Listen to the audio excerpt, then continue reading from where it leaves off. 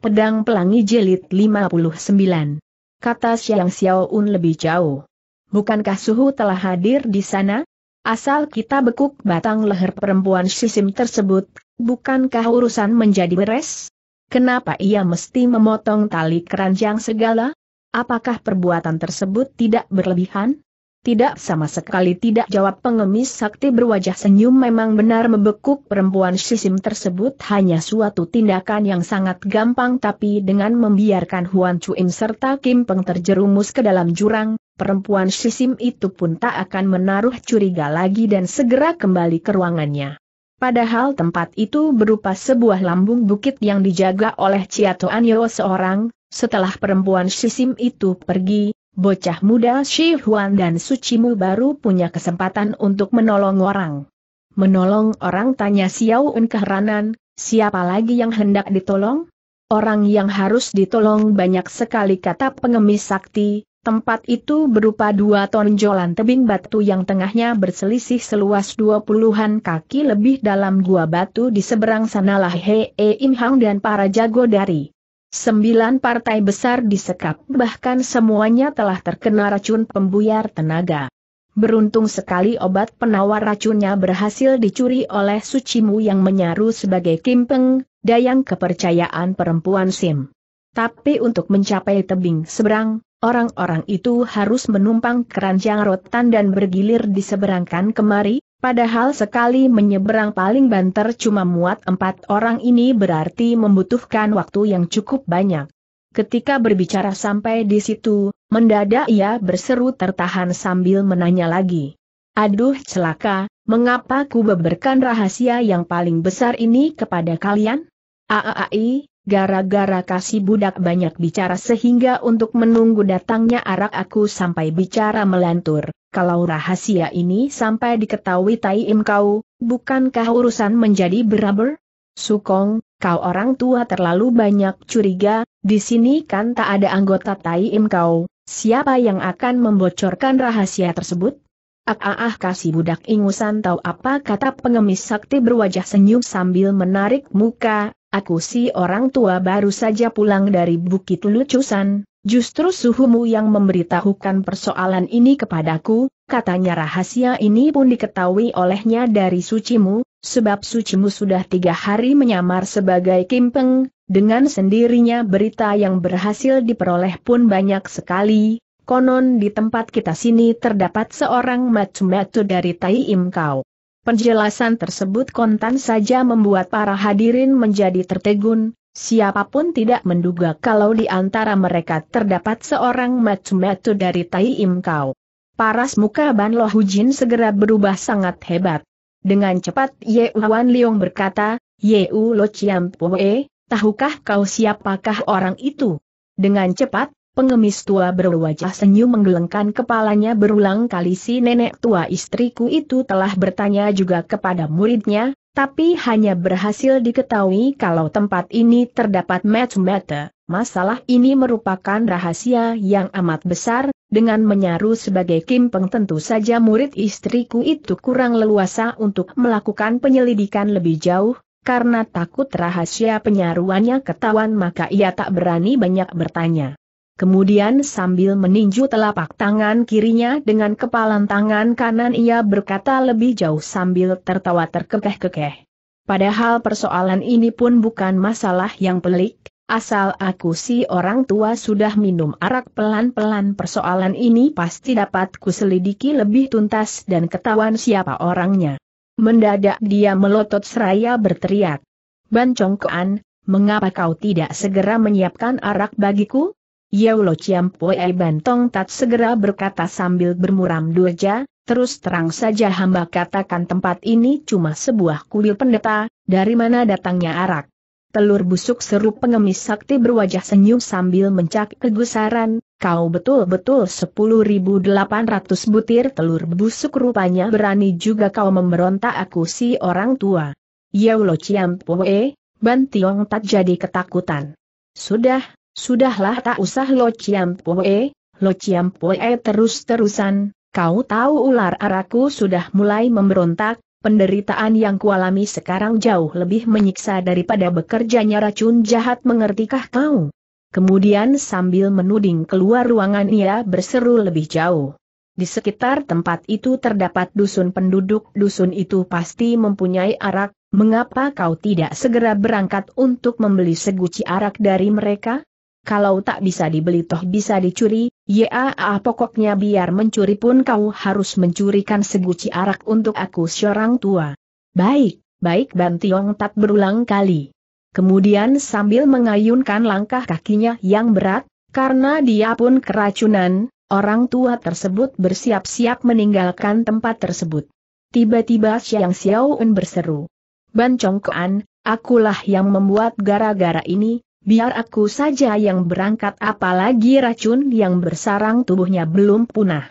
Xiang Ciun khawatir adiknya membuat gara-gara, dengan cepat dia menimpali, Xiaoun, mari kita berangkat bersama.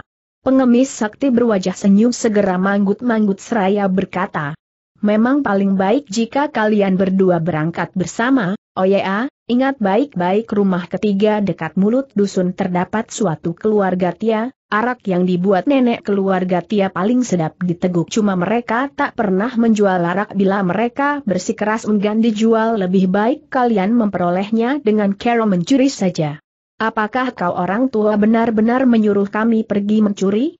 Kalau gagal membeli, tentu saja harus dicuri, ha-ah, ha-ah, ha-ah, tapi kau mesti tahu, nenek Sitia itu berjiwa sempit, Biasanya aku selalu menyelundup masuk ke rumahnya untuk mencuri arak buatannya dan meneguk setengah guci paling tidak araknya disembunyikan dalam dapur di ruang sebelah, asal kalian dapat menemukan letak dapur tersebut, arak tersebut tentu dapat ditemukan. Baik, kami segera berangkat. Bila berhasil mencuri arak tersebut, cepat-cepatlah kabur kembali, jangan sekali-kali bertarung melawan orang pesan pengemis itu lagi. Bo Ampue pasti akan mengajak mereka untuk berunding secara baik-baik janji Xiang Chun. Mendadak pengemis sakti berwajah senyum berkata lagi, kau si budak ingusan memang kelewat jujur, kau tahu. Nenek Sitia itu tak bisa dihadapi secara keras ataupun lunak, jikalau kau sampai mengusiknya, sudah pasti kau si orang tua bakal mati digerogoti ular, jangan sekali-kali kau mengetuk pintu rumahnya, Cara yang terbaik adalah mencuri, mengerti? Kau tak usah khawatir Ciampoe sahut Siang Xiaoun sambil tertawa cekikikan pokoknya kami pasti akan berhasil mendapatkan arak tersebut untuk kau orang tua. Kalau begitu cepat-cepatlah berangkat makin cepat semakin baik kata pengemis sakti berwajah senyum kemudian sambil mengulapkan tangannya berulang kali. Sekalipun Ban Lo Hujan tidak mengetahui apa sebabnya pengemis sakti berwajah senyum memerintahkan kedua orang gadis itu untuk mencuri arak, tapi dia mengerti tindakan dari Yeu Lo Chiampue tersebut tentu mempunyai tujuan tertentu, oleh sebab itu dia pun tidak berusaha untuk menghalanginya. Yeu Hualiong sebagai seorang jago yang sudah berpengalaman banyak tahun dalam dunia persilatan, tentu saja dapat mengetahui pula maksud tujuan si pengemis sakti tersebut. Sinar matanya segera berkilat tak menetu, dia pun membungkam diri dalam seribu bahasa membiarkan Siang Ciun berdua berangkat meninggalkan ruangan tersebut. Dusun itu terletak cuma beberapa li dari kuil Seikobio, tak selang sejenak kemudian Siang Ciun dan Xiao Un telah tiba di mulut dusun dan segera menghentikan langkahnya. Sambil menuding ke sebuah di depan sana, Xiang Xiaoun berbisik lirih, pasti rumah tersebut. Aku tahu. Kalau begitu mari kita segera ke sana. Yao Lo Chiampu menentukan agar kita menyatroni rumah ini, lagi pula arak tersebut harus diperoleh dengan mencuri tanpa mengusik mereka, juga tak boleh berkelahi dengan orang, apakah kau tidak merasa kalau perintah-perintah ini aneh sekali? Kita kan cuma bertujuan mencuri araknya, tentu saja tak usah mengganggu mereka, Apanya yang perlu diherankan? Bukan begitu ujar Siang Ciun, walaupun aku belum dapat menemukan alasannya, tapi sudah pasti mempunyai alasan-alasan tertentu.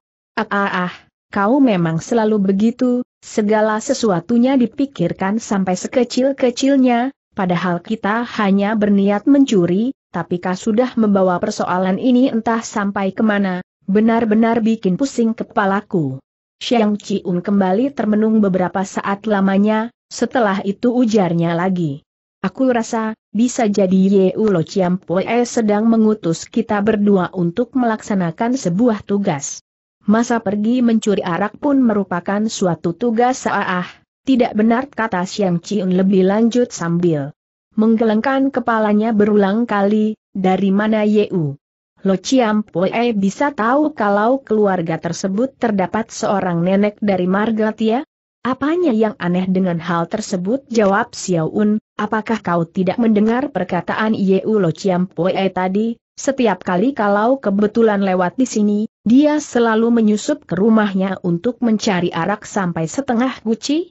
Tidak ada yang tak beres, Xiang Ciun tetap menggelengkan kepalanya berulang kali. Dengan gelisah Xiang Xiao Un segera berseru. Nona besarku sebenarnya kau bersedia masuk ke dalam rumah itu atau tidak? Kalau cuma mencuri seguci arak saja, rasanya kau toh tak usah memutar otak untuk memikirkannya secermat ini, coba kalau aku tidak pergi bersamamu, mungkin saat ini aku telah pulang ke kuil dengan membopong seguci arak wangi. Xiang Ciun memandang sekejap ke arahnya, kemudian berkata, Kau memang selamanya tak sabaran, terburu nafsu, segala sesuatunya ingin dikerjakan tanpa berpikir panjang, HMM, kalau keadaan semacam ini kau pertahankan terus akhirnya kau sendirilah yang bakal rugi. Dan kau? Huh, segala sesuatunya mesti dipikir dan dipikir terus dalam mengambil keputusan tak pernah tegas dan tandas, kalau begitu terus keadaanmu, mungkin sampai berumur 80 tahun kau baru akan melahirkan anak. Kau, Paras muka Siang Ciun kontan saja berubah menjadi merah dadu karena jengah sementara ia hendak berang. Xiang Xiao Un sambil tertawa cekikikan segera menjejakkan kakinya ke atas tanah, seperti hembusan angin puyuh dia cepat-cepat kabur meninggalkan tempat tersebut. Dengan suatu gerakan yang sangat ringan nona itu melesat ke sisi dinding pekarangan rumah ketiga dan menyelinap dalam. Kebalik kegelapan, dalam waktu singkat bayangan tubuhnya sudah tak nampak lagi. Sebetulnya Xiang Ciun ingin mencegah perbuatan adiknya itu, namun setelah menyaksikan gerakan tubuh adiknya tersebut, diam-diam dia mengangguk. Padahal adiknya hanya seorang murid tak resmi dari si nenek pengemis bermata buta petunuk yang pernah diperoleh pun hanya berlangsung selama tiga bulan, tapi kesempurnaan ilmu meringankan tubuh yang diperolehnya sungguh luar biasa sekali, bahkan jauh lebih maju daripada keadaan dulu. Oleh karena merasa khawatir membiarkan adiknya menyerempet bahaya seorang diri, maka dengan suatu gerakan cepat dia pun segera menyusul dari belakangnya. Rumah ketiga dari mulut dusun merupakan sebuah bangunan rumah yang kuno, walaupun letaknya dekat mulut dusun, Keluar dinding pekarangan masih terdapat bentangan tanah kosong berlumpur, dinding pekarangan tidak terlalu tinggi, apalagi di saat menjelang kentongan keempat sudah tuan rumah terlelap dalam tidur yang sangat nyenyak. Dengan sangat berhati-hati sekali Ona itu melewati pintu pekarangan melompat ke halaman tengah meski hanya selisih sedikit sekali ternyata jejak Siang Xiao Un sudah lenyap entah ke mana. Halaman rumah tidak terlalu luas di sisi kiri dan kanan masing-masing tumbuh sebatang pohon waru yang besar sekali. Bangunannya terdiri dari sederet ruangan yang terdiri dari tiga bilik di sebelah kiri masih terdapat pula sebuah tanah kebun yang sempit yang ditanami aneka sayur tanah tersebut langsung berhubung dengan halaman belakang. Xiang Un tahu kalau Xiao Un telah menyerobot masuk ke belakang gedung maka dia pun bersiap-siap menyusul ke situ. Tiba-tiba dari dalam gedung terdengar suara seorang nenek sedang berseru. Menurut kau rasanya di luar rumah berhembus angin puyuh apakah kau telah menutup jendela baik-baik? Jangan biarkan angin malam berhembus masuk hingga demam. Disusul kemudian suara perempuan yang lain menjawab, Popo, di luar tak ada angin puyuh paling banter cuma dua. Lembar daun kering yang berguguran, silahkan ke orang tua. Pergi tidur. Xiang Ciun yang mendengar pembicaraan tersebut diam-diam menjadi terperanjat, tajam benar pendengaran kedua orang perempuan itu, baru saja dia bersama Xiao Un melayang masuk ke dalam halaman rumah ternyata jejaknya tak berhasil mengelabui mereka, untung saja mereka hanya menganggap kehadirannya sebagai daun yang kering. Sementara itu terdengar si nenek berkata lagi, Aaai, dasar orang yang telah berusia lanjut, jika tidurnya kurang tenang, sedikit saja angin berhembus sering kali akan mengusik pendengaran tuaku. Nenek sekarang belum menjelang kentongan keempat lebih baik kau orang tua tidur lagi perempuan lain segera menanggapi. Kali ini Siang Ciun tak berani bertindak gegabah lagi, diam-diam ia menelusuri kebun sayur menuju ke belakang. Setibanya di halaman belakang, di situ terdapat sebuah pelataran kecil juga terdapat tiga deret bilik di bagian tengah merupakan bilik yang kecil lagi sempat berisikan sebuah alat penggilingan, di kedua bilik lainnya nampak pintu sama sekali. Tak tertutup di sebelah kanan adalah dapur sedang di sebelah kiri merupakan gudang kayu bakar. Sambil meringankan langkahnya Nona ini menuju ke ruang tengah, namun di sana tidak ditemukan bayangan tubuh adiknya, juga tak terdengar sedikit suara pun, tanpa terasa ia mulai berpikir. Heran, ke mana perginya si budak ini? Padahal ia sudah menyerobot masuk lebih dulu, Mengapa tak nampak batang hidungnya? Berpikir begitu, dia segera melongok dulu ke balik bilik sebelah kiri, kamar gudang kayu bakar ini gelap dan berisikan tumpukan rumput kering serta kayu bakar, sedikit pun tidak mirip tempat penyimpan arak. Maka dia pun menuju ke sebelah kanan di mana terletak dapur, begitu melangkah masuk baru diketahui bahwa bentuk dapur itu besar sekali, kecuali sebuah tungku besar di sisi kiri terdapat sebuah rak tempat mangkuk dan perkakas dapur, sedang di sisi rak terdapat sebuah pintu lain yang pintunya dalam keadaan terbuka. Xiang Ciun segera teringat kembali dengan pesan Yeu Lo Chiampoe. Arak buatannya disimpan dalam ruang samping dapur, asal kau temukan dapurnya, maka tempat tersebut pasti akan ditemukan juga. Ketiga buah bilik itu saling berhubungan satu dengan lainnya, bila dilihat dari bentuk dapurnya yang begitu luas, bisa diduga bahwa di balik bilik berisi batu giling yang sempit lagi kecil itu terdapat pula sebuah ruang lain yang lebih besar, bisa jadi di situlah tempat tarak tersebut disimpan.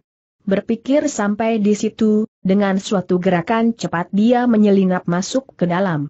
Baru melangkah masuk ke dalam pintu, hidungnya telah mengendus bau harum arak yang amat tebal, dalam. Kegelapan ia saksikan gudang arak tersebut benar-benar berisikan banyak sekali guci arak bahkan ditumpuk setinggi manusia. Dengan mengerahkan ketajaman matanya Siang Ciun segera menemukan juga adiknya berdiri dekat dinding ruangan sebelah kanan tanpa bergerak. Dengan perasaan keheranan ia segera menegur, Xiao Un tidak mengapa kau? Xiang Xiao Un tidak berbicara ataupun bergerak dia hanya berdiri kaku di situ seolah-olah tidak mendengar suara panggilannya. Diam-diam Xiang Ciun merasa amat terperanjat, pikirnya dengan cepat, jangan-jangan ia sudah dipecundangi orang? Berpikir begitu, cepat-cepat dia memburu ke hadapannya, Betul juga ia saksikan Siang Xiao Un memejamkan matanya rapat-rapat seperti tidur nyenyak bau arak yang amat tebal menyembur keluar dari balik mulutnya, hal ini membuatnya semakin keheranan. Diam-diam pikirnya lebih jauh. Sungguh aneh, selama ini adikku tak pernah minum arak tentu saja tak mungkin dia akan mencuri minum arak tapi, mengapa pula berada dalam keadaan mabuk? Pada saat itulah tiba-tiba ia merasakan berhembusnya segulung angin yang lembut dari belakang tubuhnya, satu ingatan segera melintas dalam benaknya. Dengan suatu gerakan yang cepat sekali buru-buru dia membalikan badan. Begitu dia membalikan tubuh, segera ditemuinya seorang nenek berambut putih telah berdiri di belakangnya, dari balik kegelapan tampak jelas sepasang matanya yang tajam seperti dua titik cahaya bintang sedang mengawasinya tanpa berkedip. Kemudian terdengar ia menegur dengan dingin. Kalian dua orang budak benar-benar bernyali besar, bukankah sewaktu hendak masuk kemari telah kuperingatkan mengapa kalian masih nekat memasuki rumahku? Buru-buru Siang Ci-un membungkukan badannya memberi hormat. Lalu sahutnya. Ternyata tenaga dalam yang Ciampoe miliki hebat sekali apakah adikku telah tertotok jalan darahnya di tengah Ciampoe. Nenek berambut putih itu kembali berkata keras. Oleh karena dia berani datang kemari untuk mencuri arak simpananku, maka aku pun meloloskan semangkuk arak ke mulutnya biar dia mabok. Berbicara sampai di situ, tiba-tiba dia menarik muka dan mendengus, terusnya. Setelah kalian berani datang kemari, aku rasa pasti pernah belajar berapa jurus ilmu silat bukan? Aku si nenek mempunyai satu peraturan, yakni asalkan kau dapat menyambut tiga jurus seranganku, atau mampu minum tiga mangkuk arak buatanku tanpa mabok akan ku lepaskan kalian pergi dari sini secara bebas, nah sekarang ku persilahkan kau memilih sendiri. Nenek, tak usah banyak berbicara lagi tukas nenek berambut putih itu cepat, kecuali dua jalan tersebut, tak ada Caroline yang tersedia lagi. Xiang Ciun segera berpikir, aneh betul watak nenek ini kembali dia berpikir lagi. Biarpun adikku tak pandai minum arak tapi buat seseorang yang belajar tenaga dalam, sekalipun tak pernah minum arak pun rasanya tak berakal sampai mabuk dan tak sadarkan diri hanya gara-gara meneguk berapa cawan arak, ini berarti araknya pasti hebat sekali. Sekarang, dia mengajukan syarat minum tiga cawan arak atau menerima tiga jurus serangannya, jadi kepandaian. Silatnya pun, tentu lihai sekali, ehem, daripada harus minum arak yang tidak biasa bagiku, mendingan ku terima tantangannya untuk menyambut ketiga jurus serangannya. Sementara itu, ketika si nenek berambut putih itu menyaksikan lawannya hanya termenung tanpa menjawab dengan cepat menegur kembali. Sudah kau pikirkan baik-baik. Tenaga dalam yang nenek miliki sungguh hebat. Tak perlu mengucapkan kata-kata yang tak berguna lagi tukas nenek berambut putih itu, pilihan yang mana pun sama saja bagiku, hayo cepat dijawab pilihan manakah yang kau pilih. Kalau begitu Bo Ampue memilih menerima ketiga jurus serangan nenek saja. Nenek berambut putih itu manggut-manggut. Bagus sekali, berhati-hatilah kau, sekarang juga aku akan melancarkan serangan. Tunggu sebentar apakah nenek hendak melancarkan seranganmu di sini?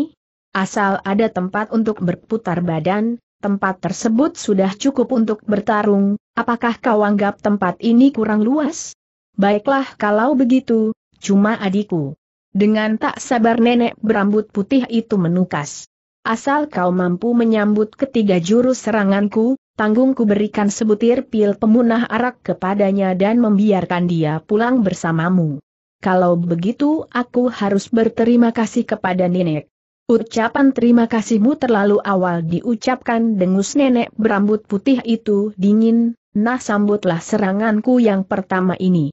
Begitu selesai membentak, tiba-tiba saja tangan kanannya diluruskan ke depan melancarkan sebuah sapuan ke pinggang Siang Ciun angin serangannya tajam bagaikan babatan golok, Sedangkan jurus serangan yang digunakan adalah jurus awan mengalir di puncak bukit dari ilmu pukulan Hui Im Chia Hoat aliran Hoa sampai. Dengan penggunaan jurus serangan tersebut, maka seandainya kau sambut ancaman maut dengan kekerasan, secepat kilat dia akan merubah gerak serangan tersebut menjadi jurus asap berhembus menutupi senja yakni serangan dengan sentilan kelima buah jari tangannya. Bila dia sampai mengembangkan serangan dengan ilmu jari Won Im Hoat, maka ancaman yang bertubi-tubi sekaligus dapat mengancam tujuh delapan buah jalan darahmu, serangan mana jauh lebih hebat daripada ilmu pukulan Hu Im Chiang. Semenjak kecil Siang Ciun sudah banyak memperoleh petunjuk dari ayahnya, tentu saja dia tahu kelihayan ancaman tersebut, dengan cepat dia mundur setengah langkah ke belakang, lalu sambil membungkukan badan, tangan kirinya disilangkan ke depan dada, sementara kelima jari tangan kanannya mendayung ke atas untuk mengancam pergelangan tangan lawan titik.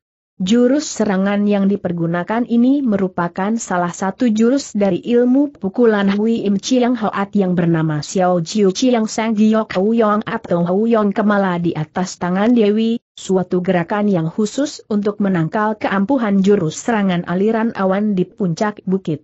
Nenek berambut putih itu mendesis dingin, tangan kanannya segera ditarik kembali ambil bentaknya. Jurus kedua.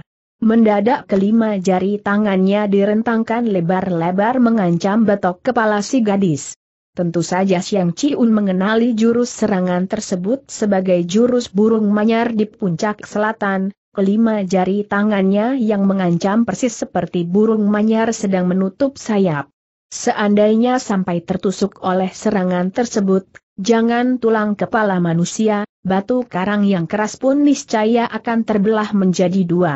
Diam-diam nona ini berseru keheranan setelah melihat kedua jurus serangan yang digunakan nenek itu adalah jurus serangan perguruannya tanpa terasa dia berpikir. Aneh, mengapa dia pun pandai menggunakan jurus serangan perguruan kami? Sebenarnya apa hubungan si nenek dengan perguruan kami? Tubuhnya segera berputar dengan ringan kelima jari tangan kanannya dipentangkan seperti cakar naga, lalu di antara perputaran pergelangan tangannya disodok ke atas kepalanya. Jurus serangan ini bernama Naga Sakti sembilan kali berputar, yaitu jurus tandingan dari burung manyar di puncak selatan. Waktu itu si nenek dengan jurus burung manyar di puncak selatannya baru dilancarkan setengah jalan, ketika menyaksikan Siang Ciun mengeluarkan jurus naga sakti sembilan kali berputar, tusukan tangannya berhenti secara tiba-tiba di tengah udara, lalu sambil tertawa dingin katanya. Budak cilik, tahukah kau jika serangan ini kulanjutkan secara bersungguh-sungguh, maka lenganmu akan berputar sembilan kali dan tergetar patah menjadi patah sembilan potong. Yaa, Bo Ampoe percaya, karena tenaga dalam nenek jauh lebih mengungguli diriku. Tapi apa boleh buat, sebab hanya jurus serangan ini yang bisa memunahkan ancaman jurus serangan burung manyar di puncak selatan yang nenek pergunakan. Paras muka nenek berambut putih itu kelihatan amat tak sedap dipandang, setelah mendengus katanya lagi. Sungguh tak kusangka kau sebagai si anak murid Hoa sampai ternyata rela takluk dan berbakti kepada Tai Im kau, baik, memandang di atas wajah celasu kami, aku si nenek telah mengalah dua jurus kepadamu, tapi dalam jurus ketiga nanti, aku tak akan berbelas kasihan lagi kepadamu. Selesai berkata, ia pun bersiap-siap untuk melancarkan serangan lebih jauh. Nenek Tunggu sebentar buru-buru Siang Ciun berteriak. Mereka tahu kalau aku berasal dari Hoa Sampai. Karenanya sengaja mengutusmu datang kemari, apalagi yang hendak kau katakan bentak nenek berambut putih itu keras-keras. Bo Ampoe bukan anggota Tai Im kau. Kau bukan anggota Tai Im kau berkilat sepasang metu nenek berambut putih itu, lantas kau anak murid siapa, mau apa datang kemari? Setelah persoalan berkembang jadi begini, Xiang Cium pun mengerti sekarang apa sebabnya pengemis sakti berwajah senyum mengutus mereka berdua datang ke situ, bisa jadi hal ini disebabkan hubungannya dengan si nenek sebagai sama-sama anggota Hoa Sampai, tapi apa gerangan yang diinginkan pengemis sakti itu? Maka sambil membungkukan badannya memberi hormat, ia memperkenalkan diri, Bo Ampoe Xiang Ciun. Baru saja dia menyebutkan namanya Siang Ciun, sepasang mata si nenek telah berkilat-kilat, segera tegurnya. Kau dari marga Siang. Apa hubunganmu dengan Siang Honhui? Yang nenek maksudkan adalah ayah kami. Mau apa kalian datang kemari tanya si nenek lagi dengan wajah agak berubah. Merah padam selembar wajah Siang Ciun karena jengah, sahutnya setelah ragu sejenak Bo Ampoe mendapat perintah untuk mencuri arak. Mencuri arak paras muka si nenek yang telah berubah agak lunak kini berubah lagi menjadi dingin seperti es, bukankah ayahmu sudah tahu kalau aku berdiam di sini? Mengapa ia tidak kunjung sendiri kemari sebaliknya mengutus kalian kakak beradik untuk datang mencuri arak? Benar-benar kurang ajar.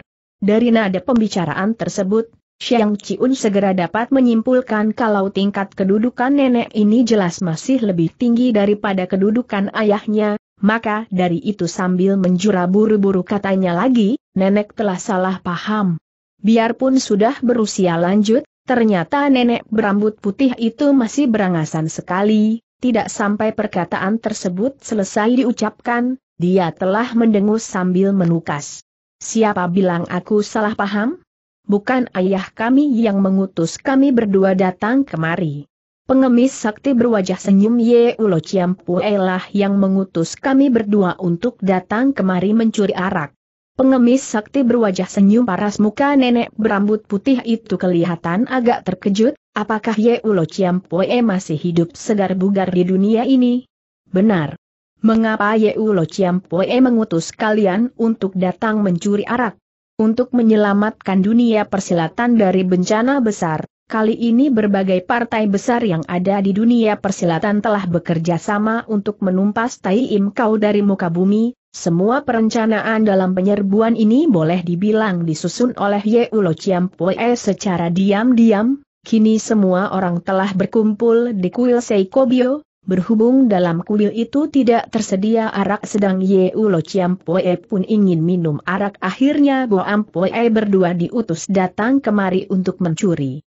Menyinggung kembali soal mencuri tanpa terasa paras mukanya berubah lagi menjadi semu merah. Tiba-tiba nenek berambut putih itu tertawa, katanya kemudian, kenapa tidak kau jelaskan sejak tadi? Dengan cepat dia merogoh ke dalam sakunya dan mengeluarkan sebuah botol kecil porselen hijau dan menunggu sebutir pil berwarna putih yang segera dicekokkan ke dalam mulut Xiang Xiaoun, kemudian ditaboknya pantat si Nona. Xiang Xiaoun segera mendusin kembali dari tidurnya, sambil membuka matanya kembali dia berseru tertahan. Aku tak mau, aku tak mau minum. Rupanya perkataan itulah yang diteriakan olehnya sewaktu tengkuknya ditangkap si nenek berambut putih dan mulutnya dileluhi secawan arak tadi. Itulah sebabnya begitu mendusin, ucapan itu pula yang segera diteriakan keluar. Dengan suara keras yang Ciun segera membentak. Xiaoun, hayo cepat menjumpai nenek. Xiang Xiaoun mencoba untuk memutar biji matanya serta memperhatikan keadaan di sekitar sana, tapi oleh karena ia baru mendusin, sedang kamar itu gelap gulita, otomatis susah baginya untuk memperhatikan keadaan di sekeliling sana dengan cepat. Hal ini masih ditambah pula dia baru sadar dari mabok, karenanya nona kecil ini tak dapat melihat wajah lawannya secara jelas ketika mendengar perkataan tersebut ia segera bertanya Cici, kau berada di mana? Nenek berambut putih itu segera berkata tempat ini terlalu gelap mari kita keluar saja. Tiba-tiba dari ruang dapur muncul seberkas sinar lentera, disusul seorang wanita berkata, Nenek aku telah menyulut lampu lentera. Nenek berambut putih itu segera mengajak kedua orang gadis tersebut keluar dari gudang arak benar juga di atas meja dapur telah disulut sebuah lentera. Seorang perempuan berbaju hijau berdiri di sisi meja dengan senyuman di kulum, kalau dilihat usianya, kurang lebih berumur 40 tahunan, kulitnya putih dan halus, jelas semasa mudanya dulu dia adalah seorang wanita cantik. Sambil tersenyum nenek berambut putih itu memperkenalkan. Titik dua dia adalah menantuku Ciunyu. Lalu sambil menunjuk ke arah Siang Ciun berdua, katanya pula, kedua orang kakak beradik ini adalah putri Siang Chiang Bunjin dari Hoa sampai kita. Sambil tertawa perempuan berbaju hijau itu manggut-manggut, ujarnya pelan silahkan duduk nona berdua. Nenek kata Siang Ciun kemudian, Bo Ampoe belum mengetahui tingkat kedudukan ke orang tua di dalam perguruan dan siapa pula panggilannya. Nenek berambut putih itu segera tertawa. Kalau dihitung-hitung, ibumu masih keponakan muridku, tapi kalian boleh menyebut nenek saja kepadaku, sedang menantuku ini bisa kalian panggil sebagai bibi. Buru-buru Siang Ciun dan Xiaoun maju menyembah sambil serunya, Bo Ampoe menjumpai nenek. Dengan cepat nenek berambut putih itu membangunkan kedua orang nona dan berkata lagi sambil tertawa. Memanggil nenek saja kau cukup, siapa suruh kalian melakukan penghormatan besar? Xiang Ciun dan Xiao Un segera bangkit berdiri, kemudian sambil memberi hormat kepada perempuan berbaju hijau itu, serunya pula, Bibi. Sambil tertawa perempuan berbaju hijau menyahut, silahkan duduk dulu nona berdua sebelum berbicara lebih jauh. Sementara itu si nenek berambut putih itu sudah menarik bangku dan duduk, kemudian ujarnya. Tatkala Yeu Lo menitahkan kepada kalian untuk mencuri arak di sini, apakah dia telah berpesan sesuatu? Xiang Xiao turut duduk di bangku sisinya, lalu sambil mengangkat kepala menjawab, Cici, nenek suruh kita duduk dulu sebelum berbicara.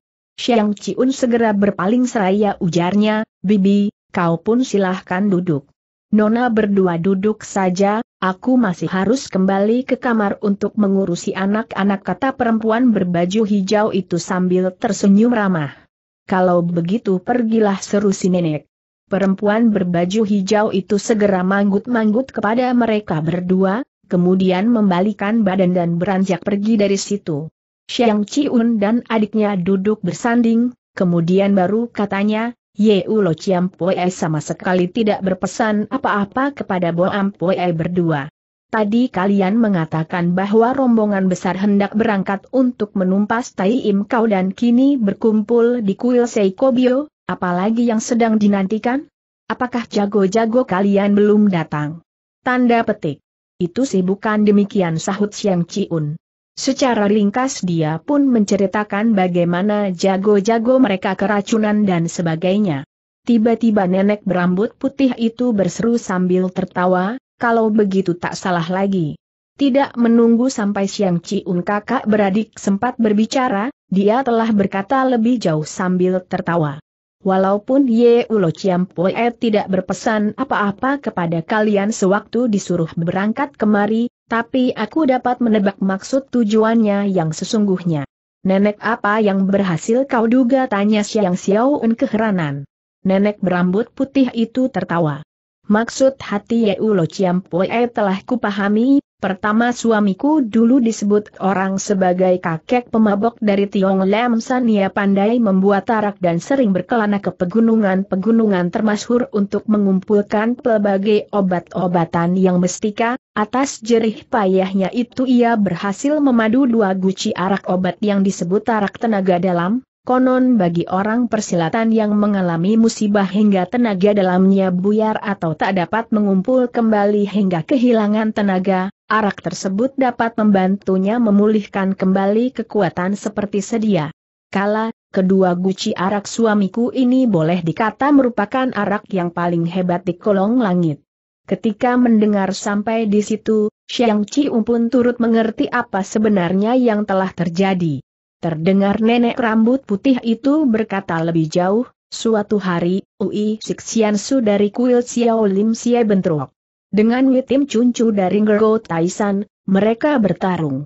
Sampai tiga hari tiga malam tanpa berhenti, akhir pertarungan itu Witim Cuncu termakan oleh sebuah pukulan Toan Yok Sian Ching, sedangkan Uisik Sian Su pun terhajar pukulan Tai Hueng sehingga kedua belah pihak sama-sama menderita luka parah. Menanti ketua Xiao Lim Si dan suamiku mendapat kabar serta menyusul ke sana, keadaan mereka telah payah, Segenap tenaga dalam yang dimiliki pun sudah punah, sedemikian parahnya keadaan mereka sampai Pil Tai Hwe Tam dari Xiao Lim Si pun kehilangan khasiatnya, tapi dengan menggunakan seguci arak tenaga dalam tersebut, suamiku berhasil menyelamatkan jiwa mereka berdua. Kemudian suamiku sendiri menderita jalan api menuju neraka ketika sedang berlatih diri, Secara beruntun dia pun minum arak tersebut selama setengah bulan, luka tersebut akhirnya berhasil disembuhkan juga, kini sisanya tinggal setengah guci dan kami anggap sebagai mestika yang tak ternilai harganya. Sejak suamiku pulang ke alam baka, setengah guci arak tenaga dalam itu pun kami simpan terus hingga kini. Kemudian setelah tersenyum, lanjutnya kembali, rombongan kalian telah terkena bubuk tujuh bisa dari tai. Im kau, di antaranya racun pembuyar tenaga paling menghabiskan tenaga orang, sekalipun mempunyai obat penawarnya, bukan berarti tenaga dalam kalian bisa dipulihkan kembali dalam waktu singkat aku mengerti, sekalipun Yeu Lo Poe tidak menjelaskan, tapi tujuannya tak lain adalah mengutus kalian untuk mendapatkan setengah guci arak tenaga dalam itu. Aa Siang Xiaoun berseru tertahan kalau begitu tak salah lagi dusun ini penuh dengan penduduk setiap rumah tentu mempunyai arak tapi Ye Ulo Ciampue justru menyuruh kami datang mencuri di rumah nenek sudah tak dapat diragukan lagi ia memang suruh kami minta arak tenaga dalam dari nenek. Nenek berambut putih itu menghela napas panjang, katanya kemudian. Walaupun aku menyayangi arak mustika tersebut, tapi kesatu karena Yeu Lo Chiampoe adalah seorang bulim Chiampoe. Apakah tingkat kedudukan Yeu Lo Poe masih jauh lebih tinggi daripada nenek Sela Un? Nenek itu segera tersenyum. Dulu Yeu Lo Poe adalah sahabat ayahku, kemudian bersahabat juga dengan suamiku dibandingkan dengannya suamiku masih lebih muda 30 tahun, jadi kalau dihitung-hitung ia mempunyai persahabatan dua generasi dengan keluarga kami. Wah, kalau begitu kakek guruku ini terhitung orang yang paling tinggi kedudukannya di dalam dunia persilatan seru Xiaoun dengan rasa kagum. Kejut dan heran nenek itu berseru kakek gurumu. Yaa, adikku telah menjadi muridnya nenek pengemis bermata buta Siang Ciun segera menjelaskan. Oh, oh, Kembali si nenek berseru dengan perasaan kaget bercampur gembira, rupanya Nona adalah murid dari si nenek. Pengemis bermata buta, wah, rezekimu benar-benar amat besar sehingga memperoleh perhatian darinya, tapi dengan begitu hutangku denganmu pun benar-benar tak dapat diperhitungkan lagi untuk selamanya. Kau orang tua adalah paman guru ibuku ini berarti kau selamanya adalah nenek kami Selas Yaoun. Mendengar itu si nenek segera tertawa geli. Tapi Yeu Lo Poe adalah sahabat ayahku, bukankah kedudukanku jadi setingkat denganmu? Yeu Lo Poe dan ayah nenek hanya berupa sahabat, sedangkan nenek adalah paman gurunya ibuku mendiang, tentu saja kami lebih menitik beratkan dalam urutan perguruan kata Siang Ciun kemudian. Sambil tertawa nenek berambut putih itu manggut-manggut. Ehm, kalian kakak beradik memang pintar berbicara, nenek merasa gembira Siang Ciang Bun Jim pun beruntung sekali mempunyai sepasang putri yang cerdas seperti kalian. Nenek apakah selama ini kalian berdiam di sini tiba-tiba Xiao Un bertanya. Sudah hampir tiga tahun kami pindah kemari tiba-tiba si nenek menggertak gigi menahan emosi, lalu terusnya, semuanya ini tak lain gara-gara Tai Im Kau yang kejam dan jahat itu. Apakah nenek mempunyai dendam dengan pihak Tai Im kau tanya Ciun keheranan.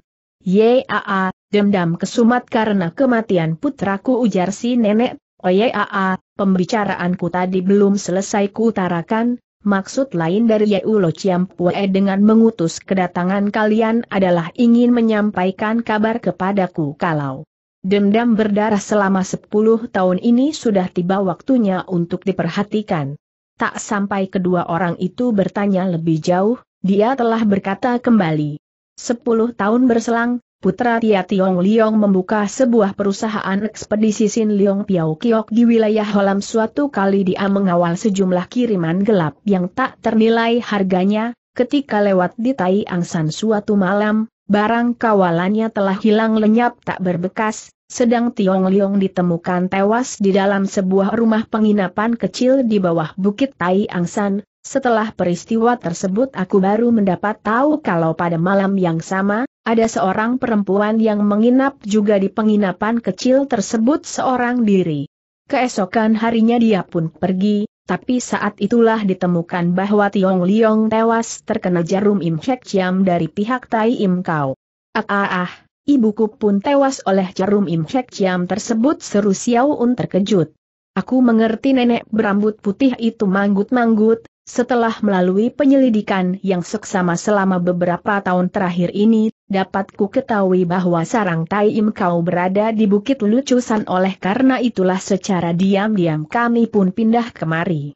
Tapi dalam tiga tahun penyelidikan terakhir ini, aku tak berhasil memperoleh berita apa-apa, dari sini dapat disimpulkan betapa rahasianya gerak-gerik mereka sampai akhirnya bulan berselang, aku berhasil menangkap seorang bajingan dari Tai Im Kau.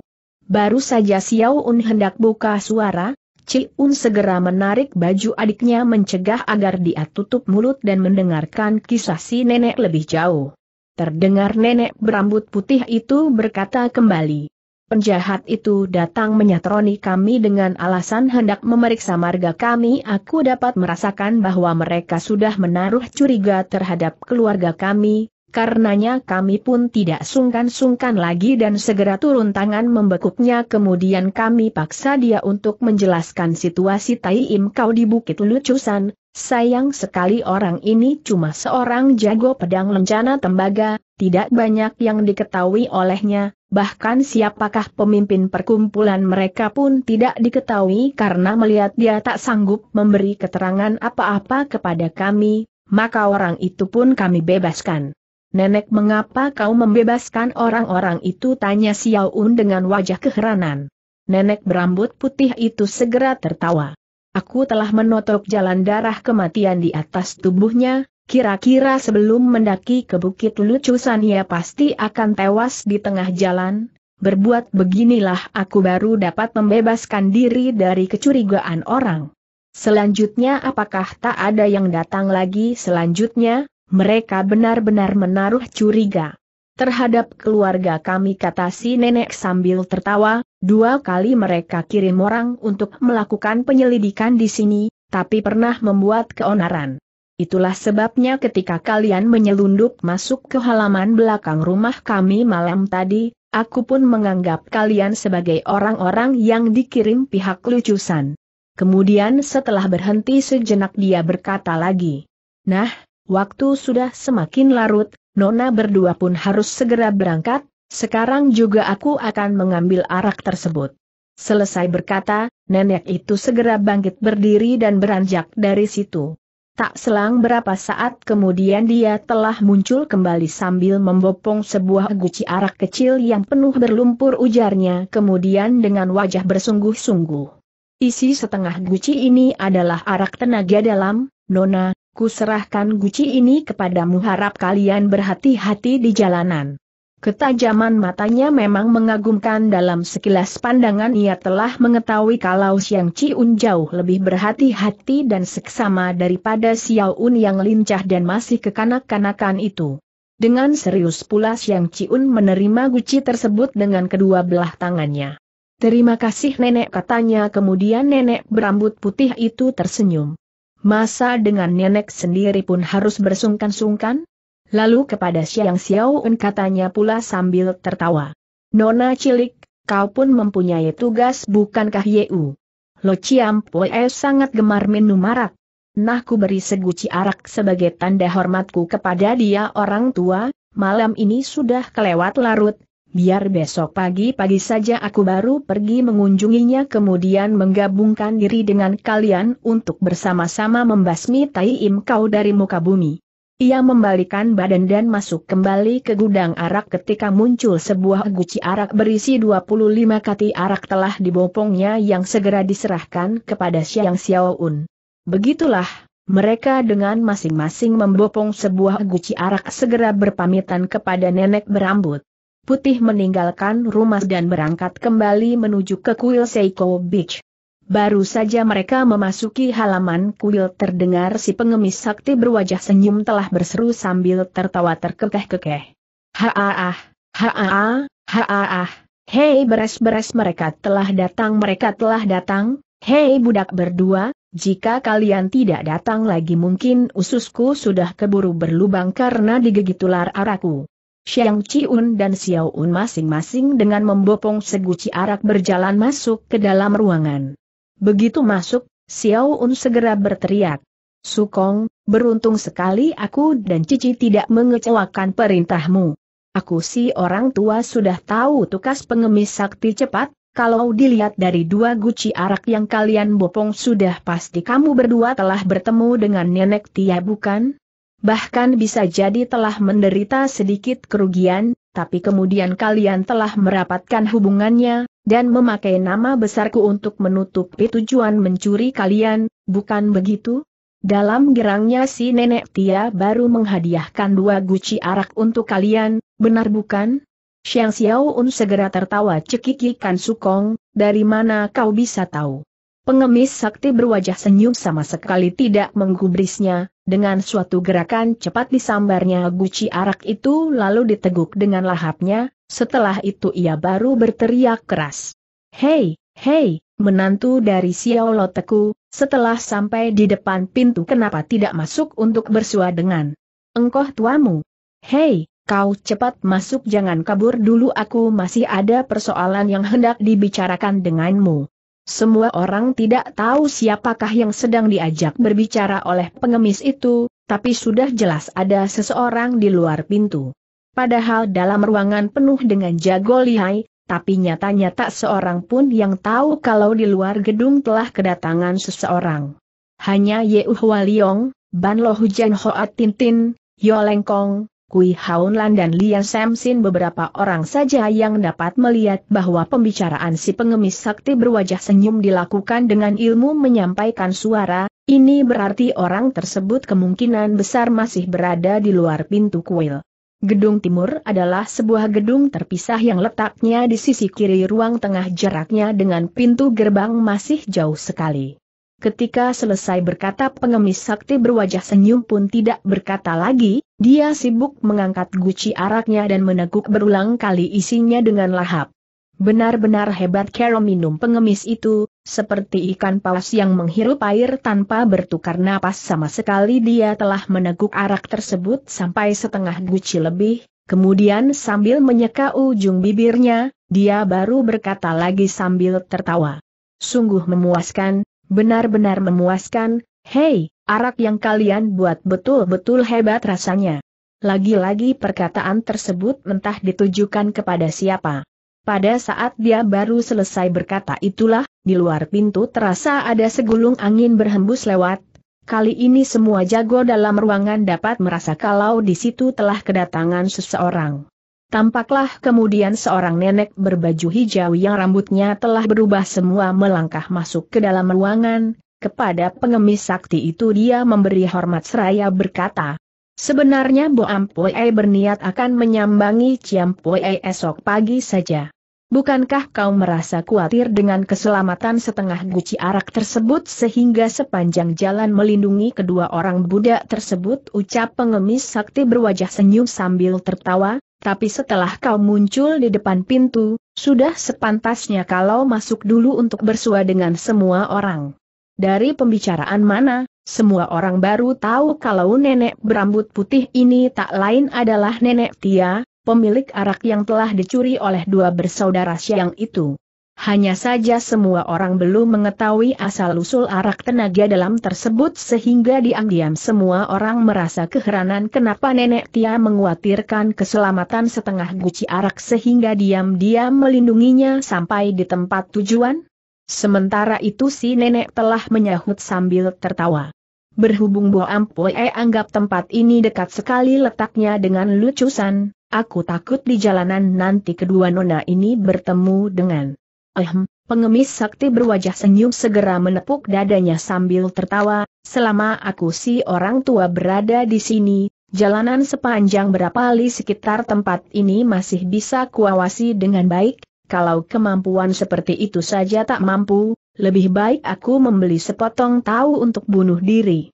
Berbicara sampai di situ, dia segera berpaling ke arah semua orang dan katanya lagi sambil tertawa. Setelah kepergian kedua orang budak tadi, bukankah aku si orang tua meluruskan tengkuku terus tanpa berbicara sepatah kata pun?